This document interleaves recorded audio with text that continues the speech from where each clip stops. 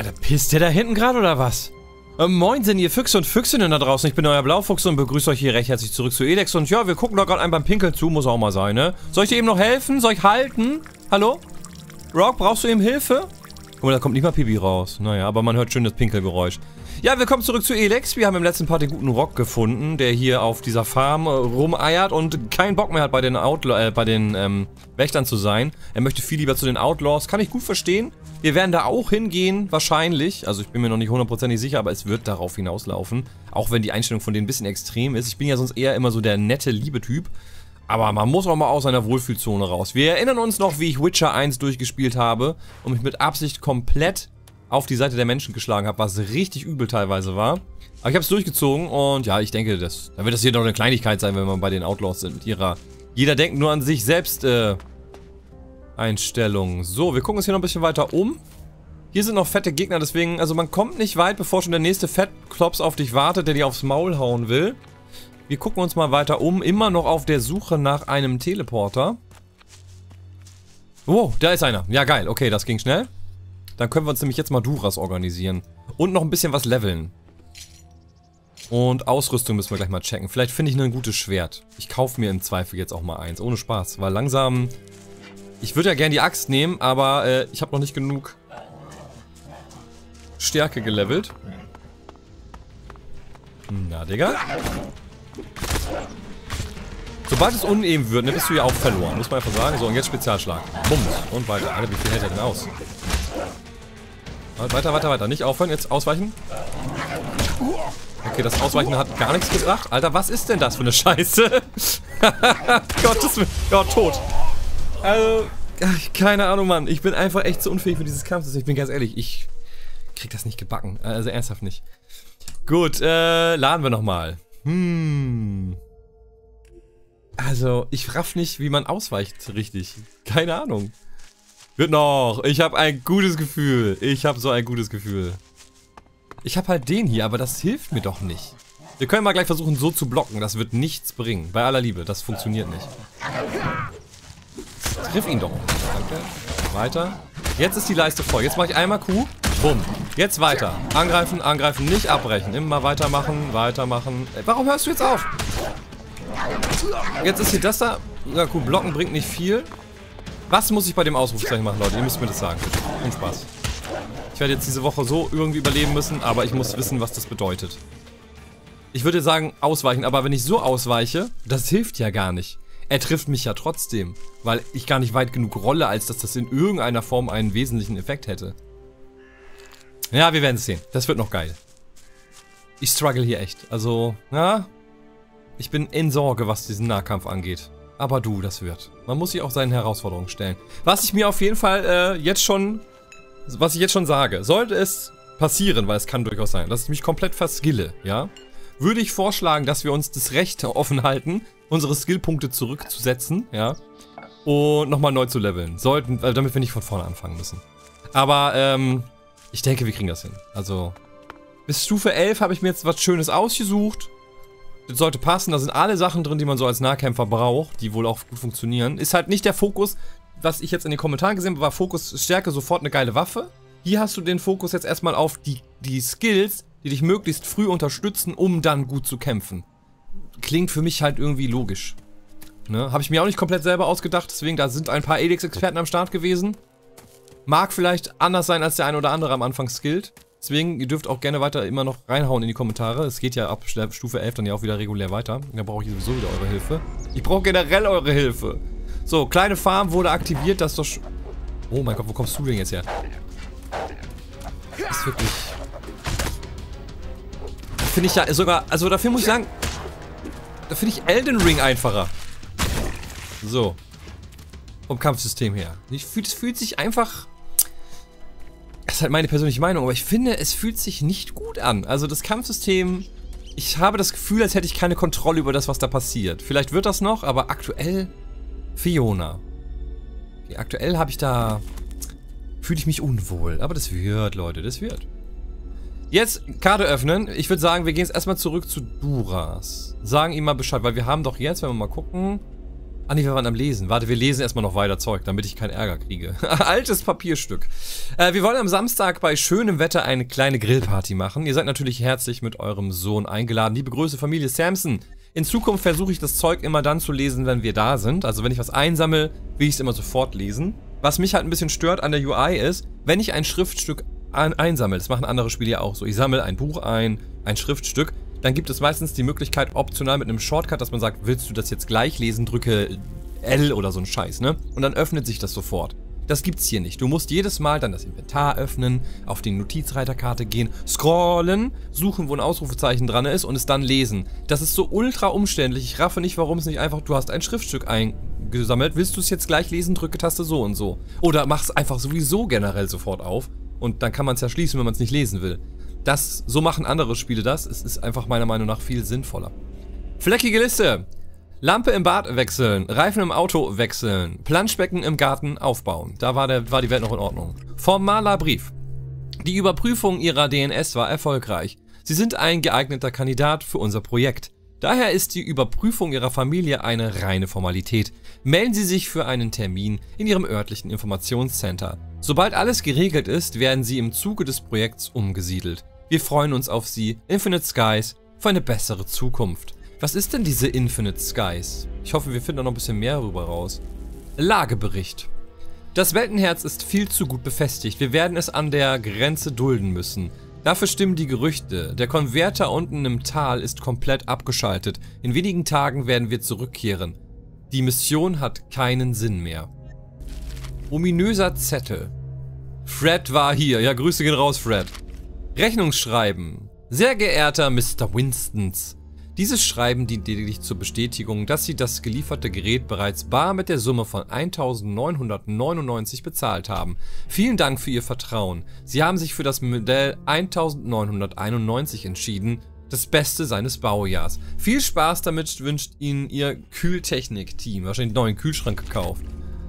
So, damit habe ich jetzt alles gelesen, außer Gebetsbuch eines Klerikers. Reinhard ist das oberste Gebot. Deine Botschaft verbreiten wir im ganzen Land. Bekehre die Ungläubigen in deinem großen Namen. Kalan, wir folgen deinem Weg bis zum Tag der Rettung. So, nun haben wir aber alles. Jetzt gehen wir mal wieder dahin zu den Quests. Uhrensuche. Jetzt hier habe ich auf der Suche nach ein paar... Wie hieß denn jetzt das Ding? Es war ja eine Begleiter-Quest. Gefährten, Zahn um Zahn. Indizienbeweise. Hier. Müsste ich jetzt alles gemacht haben, ne? Ja. Dann kann jetzt hier diese Markierung erstmal wieder weg. Und dann geht's mal zurück. Dann schauen wir mal, wie es jetzt weitergeht. Wir haben ja jetzt soweit alles erledigt. Dürfte jetzt mit unserer Leistung eigentlich zufrieden sein. Ich versuche dann gleich mal neue Klamotten und sowas zu organisieren, weil wir kriegen einfach zu krass auf die Fresse. Wir laufen halt immer noch mit dem Standardscheiß rum, ne? Duras, guten Tag. Ein Wort zum Mord an Ascor. Ein Wort zum Mord an Ascor. Brian kann es nicht gewesen sein. Barin kann es nicht gewesen Ach, sag ich doch, Barin. Ascor war sein bester Freund. Ich sehe keinen Grund, warum Barin ihn hätte töten sollen. Tja, das ist eigentlich wahr. Ich habe auch nicht wirklich daran geglaubt, dass Barin jemanden einfach so umbringt. Für sowas ist er viel zu faul. ja. Torgal hat Angst vor tiefen Wäldern, also die Wahrscheinlichkeit, dass er das war, eher unwahrscheinlich. Torgal hat Angst vor tiefen Wäldern. Unwahrscheinlich, dass er eine Leiche gerade dahin verschleppt haben soll. Das stimmt. Das hätte ich mir auch gleich denken können. Geron ist ein Jäger. Er benutzt einen Bogen. Das passt nicht mit der, äh, mit dem Schwert den Schwertspuren auf seiner Leiche zusammen. Geron ist ein Jäger. Er benutzt einen Bogen. Hätte er Askor ermordet, hätte man die Leiche mit einem Pfeil in der Brust gefunden. Askor wurde aber mit einem Schwert getötet. Richtig. Hm, gut beobachtet. Irda ist ziemlich schwach auf der Brust. Ich glaube, der kann ein Schwert nicht mal richtig halten. Irdor ist ziemlich schwach auf der Brust. Er kann ja kaum ein Schwert halten. Askor war ein gestandener Kerl. Hm. Damit fällt Irdo als Mörder von Ascor wohl raus. Rock hat ein wasserdichtes Alibi, der ist nämlich kilometerweit entfernt und chillt auf so einem Hof rum und hat eh keinen Bock mehr auf den ganzen Scheiß, ne? Rock hat ein wasserdichtes Alibi. Er hat Askor nicht getötet. Dabei hatte ich ihn am meisten in Verdacht. Du hast mit Askor zusammen die Prüfung angetreten? Wir haben zwar zur selben Zeit die Prüfung abgelegt, aber ich habe ihn kaum gesehen. Zu der Zeit hatte ich genug mit meinen eigenen Aufgaben zu tun. Das ist alles Zeitverschwendung. Eure Verdächtigen sind allesamt unschuldig. Das glaube ich nicht. Einer von ihnen muss es gewesen sein. Und wer soll das sein? Jemand, der noch vor ein paar Tagen in Goliath war. Warum? Vertrau mir. Ich bin mir sicher, dass ich recht habe. Hm, ich könnte jetzt dein Schwert gebrauchen. Barin sagte, er wäre noch vor ein paar Tagen in Goliath gewesen. Barin sagte, er wäre noch vor ein paar Tagen in Goliath gewesen. Aha, siehst du, ich habe es doch gewusst. Er vergöttert dich. Dieses miese Schwein. Langsam. Das ist noch kein Beweis. Der Kerl hat was zu verbergen, da bin ich mir sicher. Wo hält er sich am liebsten auf? Ich habe ihn im Wald getroffen, aber er sprach auch von seiner Lieblingsstelle am Aufzug ins verbotene Tal, in der Mitte von Nidan. Da ist es. Da versteckt er seinen Schandfleck. Was soll das sein? Die Mordwaffe? Was soll da sein? Die Mordwaffe? Möglicherweise. Oder noch etwas Schlimmeres. Was hat Barin vor ein paar Tagen in der Stadt denn gemacht? Also, Was hat Barin vor ein paar Tagen in der Stadt gemacht? Ich werde es dir erklären, sobald wir den Beweis in der Hand haben. So ein Unsinn. Das ist doch hoffentlich nicht dein Ernst. Barins Lieblingsbrücke und deren Umgebung also. Aber ich würde sagen, wir gehen auf jeden Fall mal hin. Man kann ja gucken. Es ist ja noch keine Verurteilung. Barins Lieblingsbrücke und dessen Umgebung also. Wir werden sehen, ob an deinem Verdacht etwas dran ist. Ja, aber warte. Egal, was du dort findest, bring es erst zu mir und öffne es nicht, okay? Warum? Vertraust du mir nicht? Ich fürchte, es würde deinen Tod bedeuten. Tatsächlich. Ich warne dich. Tu, was ich dir sage. Vertraue mir einfach, okay? Vielleicht war es Duras auch selber, ne? Vielleicht war es er. Du, ich könnte dein Schwert Ich gebrauchen. könnte jetzt dein Schwert gebrauchen. Du brauchst einen Waffengefährten? Na gut, ich bin hier gerade wohl entbehrlich. Ich werde allerdings gelegentlich mein Jetpack benutzen. Ich weiß, ich habe ja noch eins, das ich noch nicht zum Schlund gebracht habe. Kannst Aha. du denn damit umgehen? Du bist Berserker. Mach dir mal keine Gedanken, ich werde schon klarkommen. Was hast du vor? Das werde ich unterwegs entscheiden. Wir treffen uns bei den Ruinen vor Goliath, wenn wir getrennt werden. Okay, ich bin dabei. Mein Volk hat es immer wieder geschafft, die Alps zurückzudrängen. Nur mit der Kraft eines wahren Kriegers und der Magie. So, mitkommen. Mitkommen. Okay, Wir haben endlich einen Waffengefährten. Und wir treffen uns vor den Ruinen, wenn wir getrennt werden. Okay. So, jetzt lass uns mal schauen. Ich guck mal nochmal kurz ins Inventar rein, wie das überhaupt so rüstungsmäßig aussieht. Wir sehen nämlich echt scheiße aus. Momentan Kopf haben wir nichts. Wir haben maximal eine Hose. Schachterhose, Jägerhose. Diese Hose wird häufig bei der Jagd getragen. Ja, mal, die trage ich gerade, ne? Eine praktische Arbeitshose brauchen wir nicht. Wir haben sonst nichts. Wir haben nichts für den Körper, nichts für den Kopf. Ich gehe jetzt mal ein bisschen gucken. Also wir sind halt komplett aufgeschmissen. Waffen haben wir ein Beil, das kann ich leider noch nicht tragen, weil mir ein bisschen Stärke noch fehlt. Reitschwert fehlt mir Geschicklichkeit. Rostige Axt, ja, die trage ich schon. Vielleicht finden wir was Geileres schon mal. Machen wir mal die Karte auf. Ich suche mal nach Händlern. Kaldrim. Hier haben wir den Überlebenslehrer. Waffenhändler da. Mach mal eben eine Markierung hin. Ich gehe jetzt mal zum Waffenhändler. Da lang. Danach gucken wir bei den Rüstungen mal rein. Ich bin ja sonst eigentlich einer, der am Anfang ungern Waffen und sowas kauft. Wo ist meine Markierung jetzt hin? Sowas hätte ich auch gerne. Da.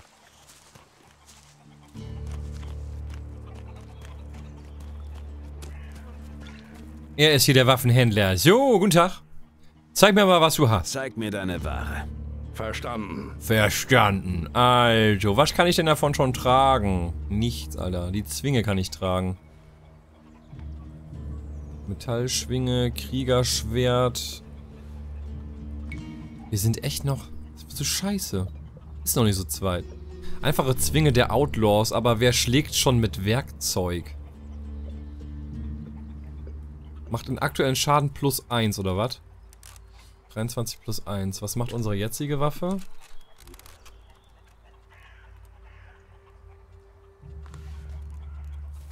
Zweiundzwanzig. Ja, viel mehr ist das jetzt nicht, sag ich mal, ne? Was kostet das Ding? Zeig mir deine Ware. Wahrscheinlich auch noch Verstanden. scheiße teuer, deswegen lassen wir das.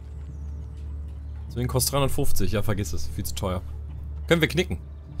Lassen wir mal. Äh, aber er hat Rüstungen. Zeig mir mal deine Ware, er hat auch Zeig Rüstungen. mir deine Ware. Verstanden. Verstanden. Was hast du denn an Rüstungen am Start? Ach, gar nichts. Okay, nee, hat er nicht. Gut, lass uns doch mal zum Rüstungsmann gehen. Einfach nur nochmal checken. Hm, Was macht er da? ich habe die Karte geöffnet. Rüstschmied. Gehen wir mal da nochmal eben hin. Ups. So. Da lang. Der war da oben, glaube ich, ne? Mal gucken. Die Rüstung, irgendwas, Mann. Ich krieg ja nur aufs Maul. Bin richtig die Kackwurst, aber gut, das kommt ja noch. Wir sind ja noch ganz am Anfang. Denk an Gothic. Wie lange du da rumeierst. Wobei, gut, die erste Rüstung kriegst du relativ zügig, ne? Bauer Loba, kriegst schon mal deinen Bauernklamotten. Bei Gothic 2 jetzt. Bei Gothic 1 weiß ich gar nicht so genau. Da dauert es, glaube ich, ein bisschen länger. So, ein wunderschön. Guten Tag, Hallöchen. Äh, Erzähl mir mal bitte... Ne, ich wollte Rüstung haben. Wo ist der Rüstungsmann? Das ist ein Teleporter. Technik. Ha! Das ist nur der Schmied. Verkauft er mir nichts? Lieber Schmied, wieso verkaufst du mir keine Rüstungen? Das war doch unten der Typ, ne? Zeig mir, was du mir herstellen Zeig kannst. mir, was du mir herstellen kannst. Ich kaufe dir auch etwas ab, wenn Ich find's du willst. schön, wieder... Hier, guck mal. Hornschwert. Gibt's hier irgendwas, was geil ist? Schredder. Ne, wir sind einfach noch zu kacke. Kriegsschild. Hier gibt's ein paar Sachen. Werkerhelm. Jägerrüstung. 800. Würde natürlich schon mal einiges helfen. Aber ich muss erst noch leveln. Ich habe ja noch ein paar Sachen, die ich leveln möchte. Wäre wahrscheinlich jetzt sinniger, erstmal die Skills zu erlernen. Ich kann noch mal gucken, was ich noch verkaufen kann. Verkaufen. Du kannst haben die Eisenstange, diese Eisenstange, das hebe ich auf. Das würde ich erstmal behalten. Handel akzeptieren.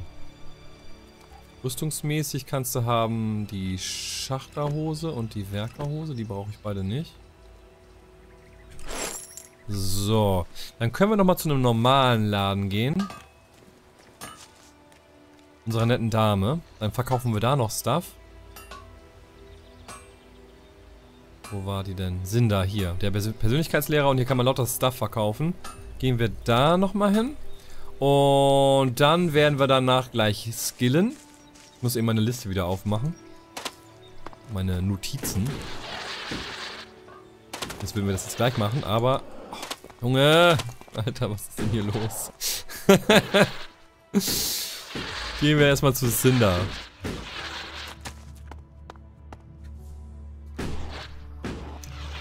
Und verkaufen da mal lauter Gedönse. Ich habe so viel Klopapier und so. So viel Scheißen kann ich gar nicht, weißt du? Da können wir ruhig ein bisschen verkaufen. Oh, gucken wir mal. Guten Tag, hallo. Moin. Na, Born, bei dir alles gut eigentlich? Ja, Born ist zufrieden. Nü, nü, nü.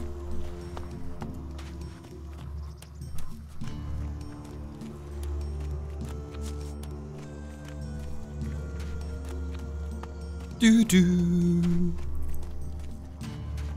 Cinder, liebe Frau, wie sieht's aus?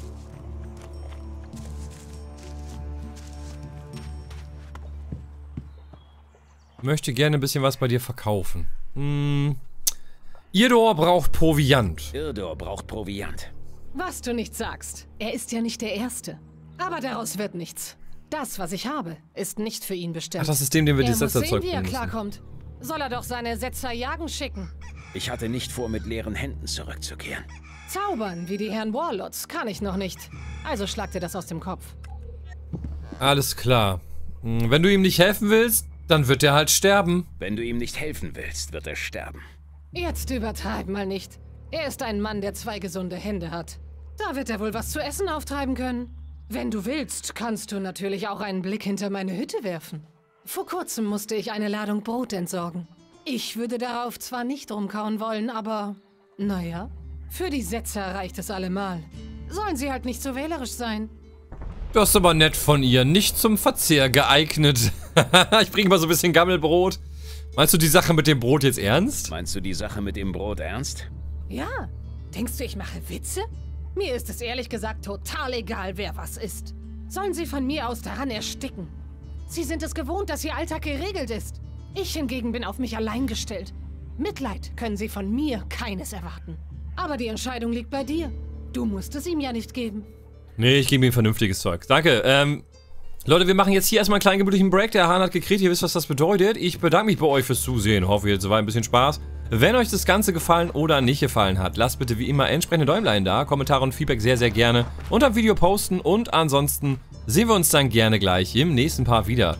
Bis dahin euch viel Spaß beim Zocken. Tschüss, euer Blaufuchs.